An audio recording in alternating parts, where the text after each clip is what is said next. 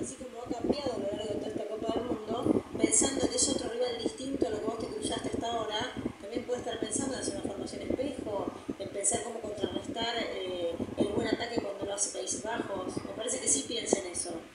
Aquí está, a ver, va a hacer un trabajo con pelota, estamos en Ruiz. Diego, ahí está